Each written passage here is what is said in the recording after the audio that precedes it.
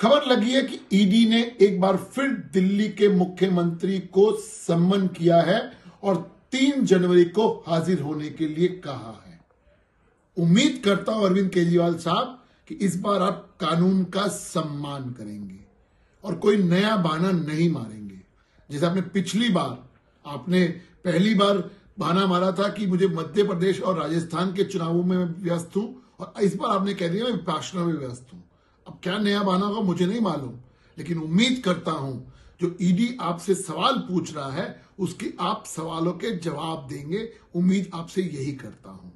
आप जितना मर्ज़ी कह लीजिए अरविंद केजरीवाल साहब, कि ऐसा कोई केस नहीं बनता, ये संबंध फर्जी हैं घोटाला हुआ ही नहीं। अगर घोटाला नहीं हुआ तो आज संजय सिंह की जमानत एक बार फिर रिजेक्ट हुई है, और कोर्ट ने, माननीय न्यायालय ने साफ़ कहा है कि संजय सिंह कहीं ना कहीं प्राइमाफेसी एक्यूज हैं, उन पर शक जाता है। और मनीष सिसोदिया के बारे में तो सुप्रीम कोर्ट ने बोला कि 300 करोड़ का मनी ट्रेल है। उम्मीद है कि के, अरविंद, जो मनीष सिसोदिया के पर्सनल सेक्रेटरी है, उन्होंने जब साफ़ तौर पे कहा कि आपकी मौजूदगी में पाँच से बारह परसेंट कमीशन का ड्राफ्ट डॉक्यूमेंट दिया गया, उसका जवाब आप ईडी को देंगे।